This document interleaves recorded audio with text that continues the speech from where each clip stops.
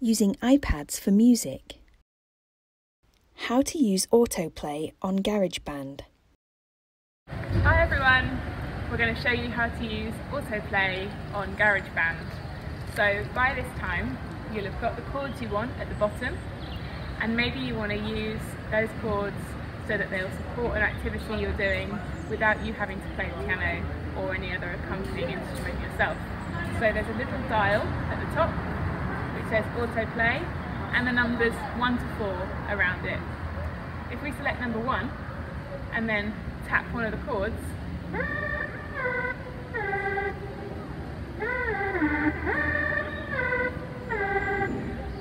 then the iPad will begin playing a chord rhythm for you. And if you move between chords now, it will keep that rhythm going.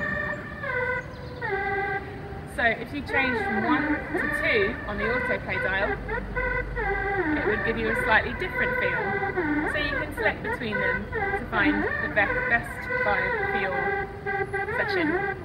And that's how you use autoplay on GarageBand. Drake Music